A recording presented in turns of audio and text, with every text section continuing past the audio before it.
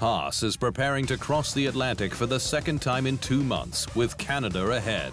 But while the squad was lucky on its last trip, with a point in Miami, it has lots to smile about. Having completed its milestone 150th F1 start in Monaco, where introductions also began with Italian marque Alfa Romeo, and rumors of a title sponsorship deal reportedly worth 20 million US dollars annually starting from 2024. The legendary automotive manufacturer, which earned F1's maiden pole, win, fastest lap, and world championship with Giuseppe Nino Farina in 1950, is keen to stay in the sport.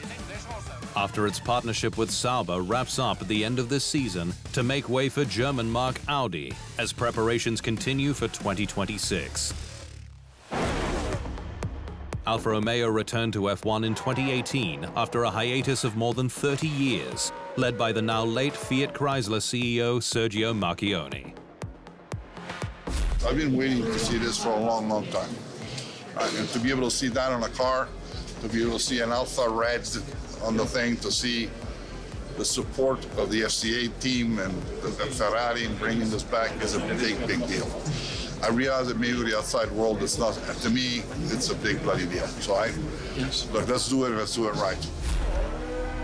Doing it right saw Alfa Romeo kickstart its 2018 return as Sauber's title partner before a full-blown rebrand the following year.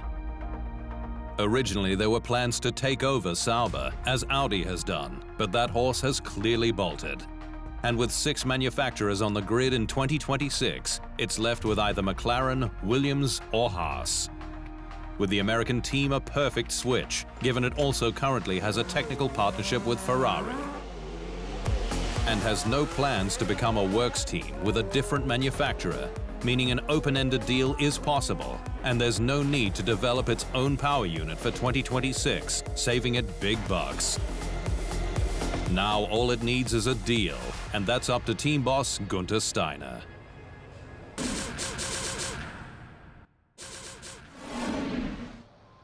Thanks for watching. To stay up to speed on all things Formula One, make sure you hit the subscribe button.